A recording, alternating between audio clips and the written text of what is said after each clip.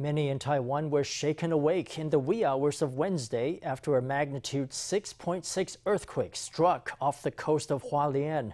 The quake was felt throughout the island and it was followed by more than 50 perceptible aftershocks within seven hours. Seismologists at the Central Weather Bureau say aftershocks of magnitude 4 and above can be expected over the coming week, particularly in the East Rift Valley.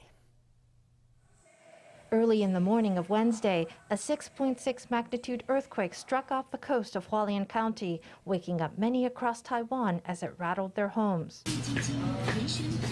At this restaurant, the earthquake knocked beer and other drinks from their racks, sending glass splintering across the floor.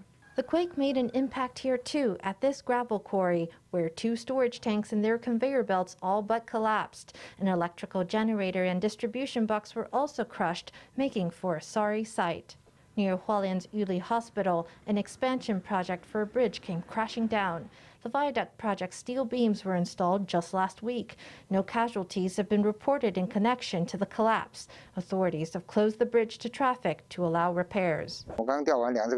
We had just finished hanging the beams. At that point, the project was at its most unstable, at its most unsafe. Over the next couple of days, we will be urgently deploying safety equipment. According to the Suhua Improvement Engineering Office, as many as 28 pre-stressed beams had snapped and collapsed. Each beam will cost 1.5 million NT to repair, plus additional costs for debris removal and other engineering needs. All told, the incident will cost nearly 50 million NT. Wednesday's 6.6 magnitude earthquake was followed by a string of aftershocks. More than 50 temblors of magnitude 3.7 or greater were recorded within seven hours.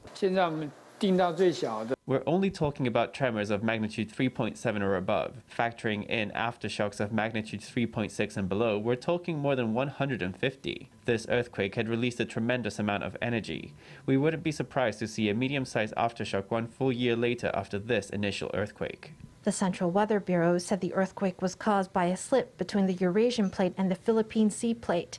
The quake was felt most strongly in Taidong County's Changbin Township, where it reached a lower six on Taiwan's seven-tier intensity scale. We started seeing more frequent earthquakes last year, and that will likely continue through this year, not only in Taiwan, but across the world. It is possible that we've entered an active seismic period. The CWB says Taiwan may have reached a period of greater earthquake activity, but one scholar disagrees. There are so many active faults, about 30 to 40 active faults.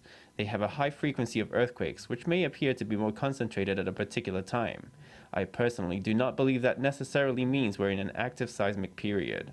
Experts warn of aftershocks of magnitude 4 and above over the coming week, particularly in the East Rift Valley.